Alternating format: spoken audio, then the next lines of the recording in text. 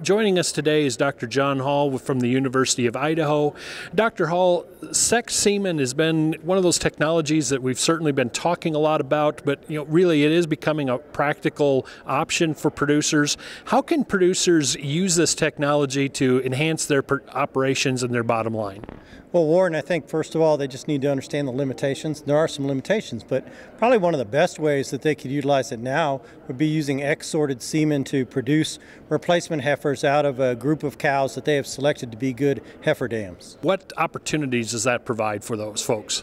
Well, I think first of all, it provides an opportunity to create a maternal line so that you have the maternal genetics that you want in your herd that fits your environment and maybe reduces some of your costs.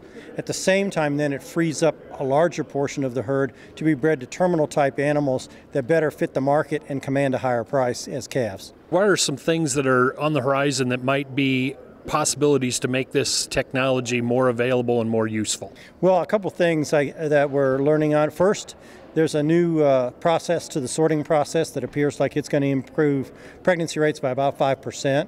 And then the other thing is we're continuing to learn more and more about the timing of insemination uh, relative to estrus to improve pregnancy rates to sex semen.